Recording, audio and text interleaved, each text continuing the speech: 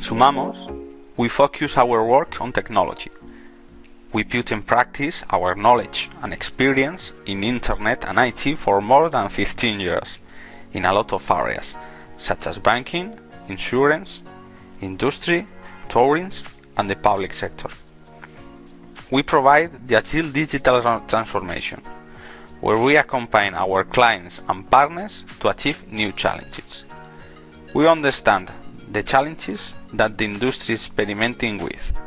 These challenges involve needs such as investment in technology, agile transformation, and a change to new disruptive business models. We face with positive attitude, talent, and proactivity to the collaboration with clients and partners. In the area of business intelligence, we have a team with the ability to tackle successful projects, perform specialized consulting, and offer quality solutions to our clients.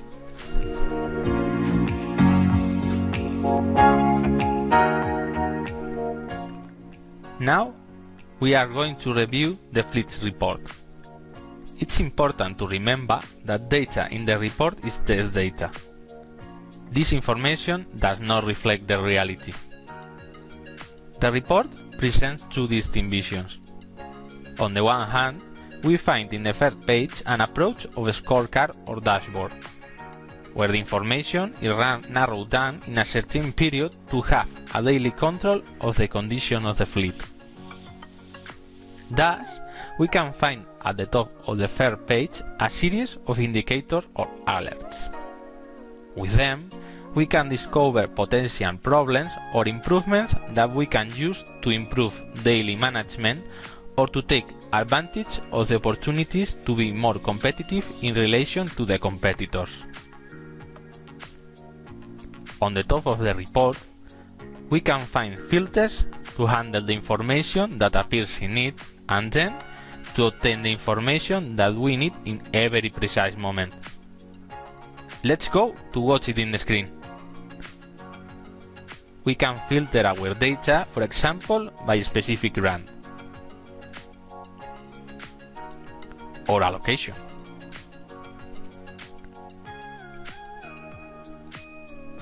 Also, these filters have the capability to search a value in an enormous list of data. In addition, in the top left corner we can advertise a button to erase the selected filters and to return the report to his initial condition.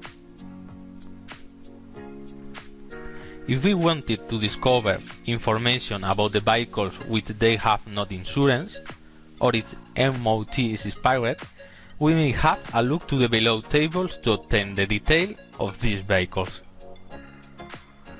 Also, we can export data to manipulate it later. On the other hand, the report has a series of graphs to verify more information of the fleet between different years, situations or geographical zones. In some cases, we will be able to visualize data in various levels of granularity. For example, in this case we will be able to discover vehicles whose data of MOT expires in 2019 and going down to the following level we will be able to see the same information monthly, which will allow us to play with major facility.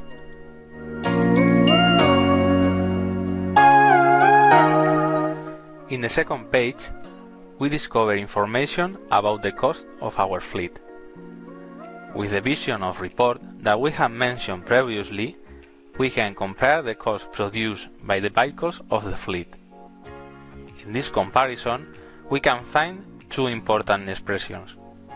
The year-to-date, or the number of days between the beginning of the current year and today, or last year's to date, or the number of days between the beginning of the last year and the same date of today to the previous year.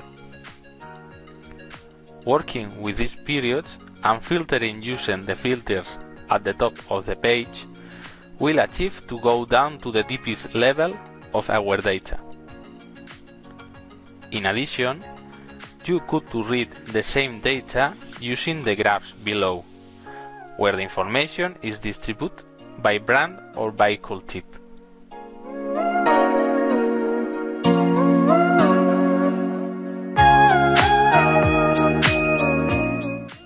As for the third page, the vision of data discovery allows us to analyze the information from diverse perspectives.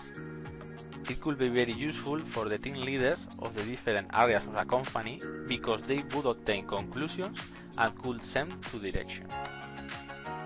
As in the previous page, we can advertise a series of filters to manipulate the information that appears in the report or graphs to see data in various contexts. But not only it. This type of report allows us to validate information that, now in our company, we did not think that it will be possible. For example, although we might think that vehicles with more than 10 years are extremely pollutant, we realize that really vehicles that we have for less time are more pollutant. On the other hand, although the vehicles of the brand Peugeot with less than 2 years old have had some problems and they've been taken to the workshop initially, they are more reliable than other brands as Fiat because the number of times in workshop is minor in the time.